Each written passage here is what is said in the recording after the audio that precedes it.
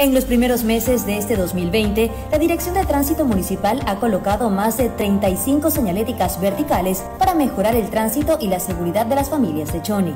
Es lo mejor que puede haber para la ciudadanía, para evitar tantos accidentes que ocurren a diario. En el paso lateral, detrás de la terminal terrestre, se colocaron tres señaléticas que prohíben girar en U evitar accidentes. En la vía Chonequito se ubicaron cuatro reductores de velocidad hasta la altura del centro educativo El Bejucal. Además, se implementaron 12 señaléticas de paradas de buses a lo largo de la avenida Eloy Alfaro, donde se encuentran varias instituciones educativas. En la ciudad de La Bowen, en la calle 13 de abril, se colocó uno de los tres discos PARE que fueron dispuestos en este sector.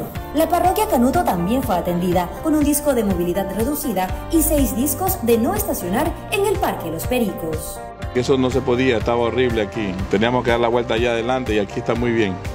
Bien por el municipio, que está haciendo buenas cosas.